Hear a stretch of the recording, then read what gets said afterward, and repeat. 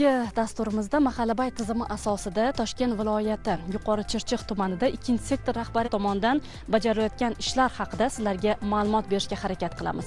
Demak hozir biz e, mana shu mas'ul xodimlar bilan uchrashamiz va kerakli xonadonlarga kirib u yerdagi faoliyatlarni yoritishga harakat qilamiz. Marhamat. Mahallamizda yashovchi xolmatlar xonadonida. Mana shu tomorqasidan qanday foydalanayotganini ko'ramiz. Nima masala bo'layotgan bo'lsa yordam berib birga tanishtiramiz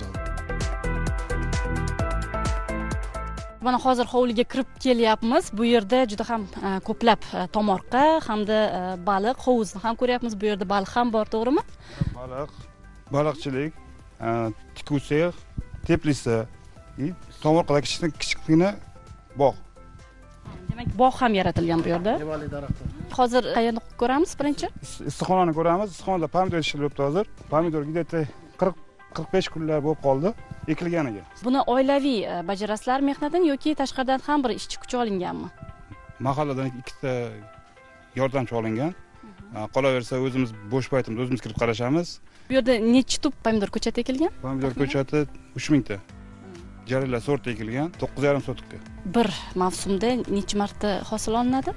Bir mavsumda pomidor bo'lsa ikki marta bodring bo'lsa to'rt martacha olish mumkin.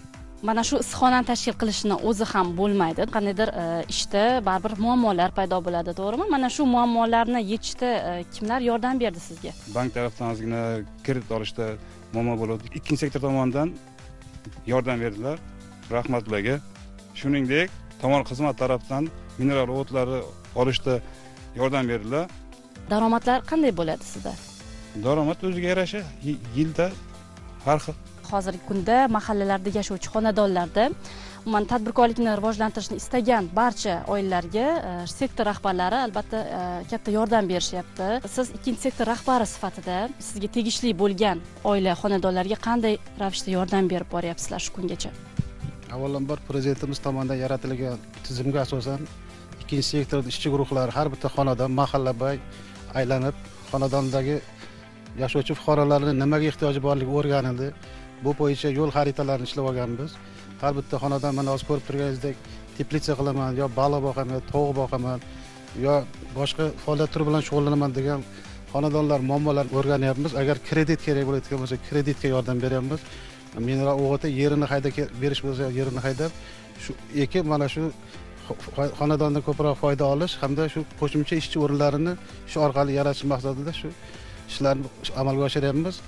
Mana shu orqali hozir mahallamizda ellik oltita yoshlarimiz e, temir daftarga kiritilgandi shuni yigirma beshtasini hozir biz ish bilan ta'minladik. Qolganlari bo'yicha ham kasbga o'qitib e, o'zini sohasini topishga yordam beryapmiz. Bu bilan o'sha aholilarni oilalarni bir kambag'allikdan chiqarish ham asosiy muhim o'rin tutadi. Shu xonadonni aholini kambag'allikdan chiqarish hamda mehnatga o'rgatib o'zini daromadiga ega bo'lish. Mana hozir ko'rib turgan xonadonimiz mo'minatov ma'murni xonadoni. Bu inson shu yilni boshida bizga murojaat qilgan edi shu to'qson sotixlik issiqxonasiga pomidor ko'chatini ekaman deb biz bankga bilan bank bilan shartnoma tuzdirib ularga kerakli bo'lgan mablag'ni olib berdik. Hamda bu orqali tomorqa xizmati bilan birgalikda shu kerakli ko'chatlarni olib ekishlariga yordam berib qo'shimcha ish o'rinlar yaratishga sharoit yaratib berdik. Bunaqa ishlarimiz hali davom etadi. Har bir har bitta xonadonni mana shuni o'zidan daromad topadigan oilaga aylantirishimiz kerak. Bu xonadonda undan tashqari yana o'zlari tikuvchilik sexlari bor. Shularni o'tib ko'rsatamiz. Demak mana shu e, siz aytgan e, tikuv sexi kichkina to'g'rimi? Beshta ish o'rni yaratganman. Tikuv mashinalarini issiqxonadan chiqqanda daromaddan qilganman. Tadbirkorimiz ish o'rnini ko'paytiraman ishchi joyini kengaytiraman desa biz qo'limizdan kelgan yordamlarni beramiz. Mana hozir yuz million yana qo'shimcha mablag' olishga murojaat qildilar. Har bir oila tadbirkor davlat dasturi ijrosi bo'yicha bu oilaga kredit olishda yordam beramiz. Hamda shu o'n ikkita ishchi o'rnini yaratishda muammolarni hal qilib beramiz. Shu uyda o'tirgan ayollarimizni yoshlarimizni shu kasbga o'qitib bularga shu tikish uchun tayyorlab berishga ham va'da beramiz. Demak bu yerdagi ish jarayoni bo'yicha bir shu yerda ishlayotgan e, qizlarimizdan ham bir ozgina suhbat qursak yaxshi ishlayapsizmi? Charchamasdan. Rahmat. Ismim shahnoza. Mm, o'ninchi sinfda o'qiyman. Bo'sh vaqtlarimda uyimdagidek yordamlashaman. Mana bu tikuvchilardan. O'zi tikuvchilikka qiziqasizmi yoki e, o'qiganmisiz?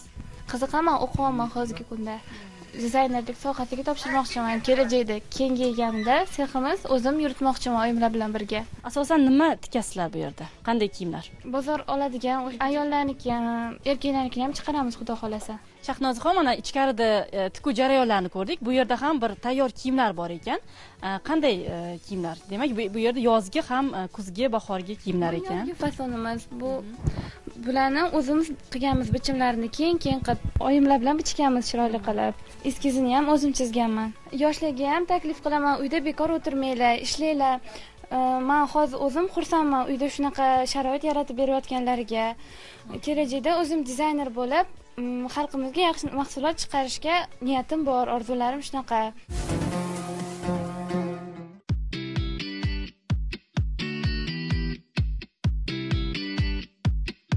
Tomorqasidan unumli foydalanib issiqxona tashkil qilgan.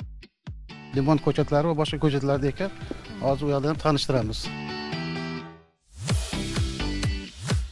Assalomu alaykum. Mana yosh tadbirkorimiz otabek. Mana o'zi issiqxona qilgan hamda chorva mollari bor. Mana o'zi qilgan ishlarni gapirib beradi. Ushbu xonadonda qanday jarayon ketyapti qanday yordamlar berildi mahalla tomonidan? Bugungi kunda mahallamizda to'qqiz yuzga yaqin xonadon mavjud bo'lib ushbu fuqaro yosh tadbirkorlardan hisoblanadi. Hududimizda issiqxona tashkil etilgan limonchilik bilan shug'ullanish istagida ham o'zini chorva mollari bor. Bu fuqaroyimiz og'zaki murojaat qilgan mahalla fuqarolari yig'iniga borib biza bunga kerakli tavsiyalarni aytganmiz. Qanday qilib kredit olishi bankka tavsiya qilganmiz. Ko'chatlar masalasi bo'yicha tomorqa kengashiga tavsiya qilganmiz. O'sha asosida hozirgi kunda rivojlantirib borishyapti. Yana e, qo'shimcha issiqxona qurish niyatida ham yigitimiz. Ikkinchi sektor boshchiligida tomorqa xizmati tomonidan mahallamizga o'n sakkiz mingta ko'chat ajratilgan. Hozir ushbu ko'chatlarni hududimizda yoshlar daftari ayollar daftari temir daftarda turgan oilalarimizga bo'lib tarqatganmiz. Bugungi kunda ushbu oilamizda yoshlar daftarida kiritilgan fuqaroyimizga ko'chat ekish jarayoniga keldik.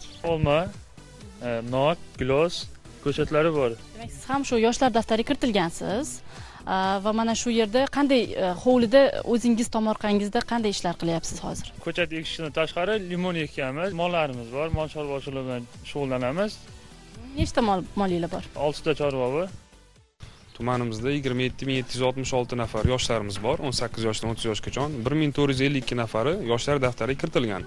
Hozirgi kunda bulardan to'qson yettitasini tadbirkorlikka o'qitish masalasida yoshlar daftariga kiritib o'qityapmiz hozir o'n sakkiztasini sertifikati chiqqan. Ularga shu kredit moliyalashtirish jarayonida bir yuz sakson sakkiz nafarga yigirma besh sotixdan ekin maydonlaridan yer ajratganmiz shu qishloq xo'jaligi mahsulotlarini yetishtirish uchun. Makka jo'xori piyoz va boshqa e, mahsulotlarni yetishtirish uchun. Uch yuz nafarini o'zini o'zi band qilishga hamda bandligini ta'minlash maqsadida bo'sh ish o'rinlariga e, jalb qildik. Qirq olti nafarini bir bir plyus bir loyihasi doirasida tadbirkorlarga biriktirdik. Oltmish sakkiz nafarini shu har xil e, yo'nalishlardagi kasb hunarlarga jalb qilib ularni bandligini ta'minlab bo'sh vaqtlarini mazmunli kechirish uchun ishlarni olib bordik. Yuqori chirchiq tumanidagi yangiobod mahalla fuqarolari yig'inida turibmiz. Yakka tartibdagi tadbirkor shoira opaning tikuv sexlaridamiz o'zi oldindan yoshligimdan tikuvchilik bilan shug'ullanib kengaytirish maqsadida e, o'ttiz million kredit olib o'sha o'nta moshina oldim. O'nta moshina olganimdan keyin o'sha o'nta ishchilar olib ish bilan ta'minlashni boshladim. Bu joyda ikki oycha bo'lib qoldi. Oldin uyda tikardim keyin atelye ochib atelyega boshladim. Keyin undan ham kengaytirish uchun keyin mana shu e, ijaraga olib keyin bu yoqqa keldik. Aynan nimalar tikasizlar? Buyurtma asosida ham ish qilasizlarmi? Buyurtma asosida nima bo'lsa o'sha qanaqa zakaz kelsa biz o'sha zakazdan olib kelib ishchilarga berib tiktiramiz. Davlat tomonidan qanday bir yana yordamlar berildi? Umuman murojaat qilganingizda qanchada sizni ishingizni hal qilib berishdi murojaat qilganimda bir oyda o'sha kreditimga so'raganda bir oyda olib berishdi. Mana shu sexda bir nechta xotin qizlarni ko'ryapmiz. Ular ham mana shu mahallada istiqomat qilishadi.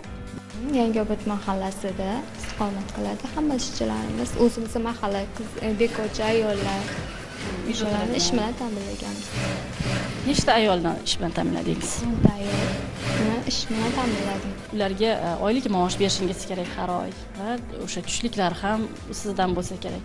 Bularni qanday uddalayapsiz ishlayotgan daromadimizdan o'sha ishchilarni o'ziga tushlik tayinlaymiz har oyda oyligini beramiz. Muntazam. Yana e, rejangizda qanday bir maqsadlar bor rejamizda bundan ham ko'proq qilib kattaroq qilib rejamda shu kattaroq sex qilib ko'proq odam ishni ta'minlamoqchiman. Hunari bor lekin hech qanday ish bilan shug'ullanishmayotgan.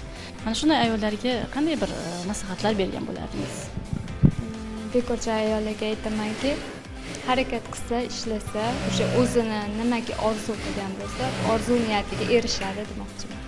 Hozirgi hayotingizdan mamnunmisiz? Rossiyam mamnunman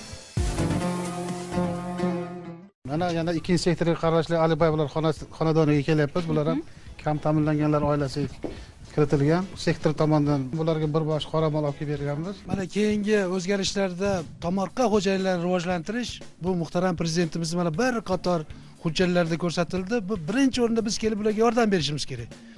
Ya'ni yillar davomida bular ish stajiga ega bo'lmadi. Opa singillarimiz onaxonlarimiz. Mana hozirgi kunda endi dehqon xo'jaligi to'g'risida alohida qonun senatimiz tomonidan qabul qilinyapti. Tomorqa xo'jaligini ajratdik. Tomorqa xo'jaligi to'g'risidagi qonun mana ishlab chiqilyapti. Yaqin kunlarda kuchga kiradi. Bu qonunlarda bularni huquqiy tomondan masalan himoya qilish davlat tomonidan qo'llab quvvatlash yoki bo'lmasa mana fermerlar kengashi tomonidan tomorqa xizmatlari orqali kooperatsiya tuzilmalari orqali bularni yetishtirayotgan mahsulotini qabul qilib olish uni keyin shu E, sotish masalalariga yordam berish hamda bularga masalan erta bahor mana hozir bahor keldi urug'lik bilan ko'chatlar bilan mana oldingi mahallada bir ming sakkiz yuzta masalan o'sha ko'chat daraxtlarini mana xayriya sifatida masalan yetkazib berilganligi. Bu albatta hozir mana yuzlardan ko'rib turibmiz opa singillarimizni shu mamnunligini ya'ni xursandligini ilgari bunaqa bo'lmagan xonadonlarga kelib yordam qo'lini cho'zish. Mana mahalliy davlat hokimiyati idoralari yoki bo'lmasa mana respublika idoralari masalan mas'ul shaxslari yoki bo'lmasa shularga xizmat ko'rsatgan tashkilot rahbarlari kelib tomorqalarga yordam beryapmiz mana bitta qora mol sigirni olinishi shunday opamizga berilishi bu juda katta xalqimizni urf odatiga asosan juda qimmatli ish. Ya'ni ertaga shu xonadonda sut bo'ladi go'sht bo'ladi.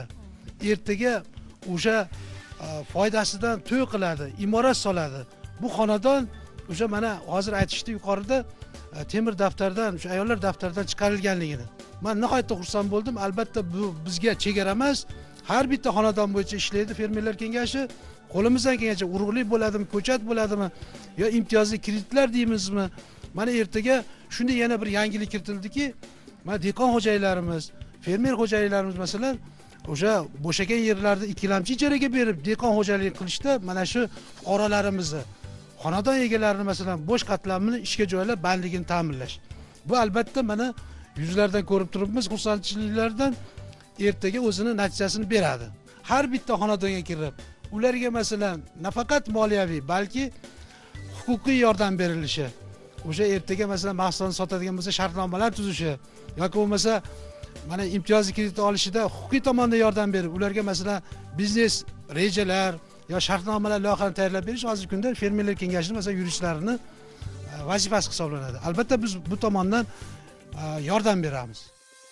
O'zining uydagi tomorqadan qo'lidagi hunaridan unumli foydalanib oilaviy daromadini tiklab olayotgan yurtdoshlarimiz tobora ko'payib bormoqda. Joylardagi o'rganishlar natijasi shuni ko'rsatadiki tomorqadan samarali foydalanish hududning rivojiga hissa qo'shishda katta ahamiyat kasb etadi. Mana shunday mehnatkash insonlar soni yanada ortaversin.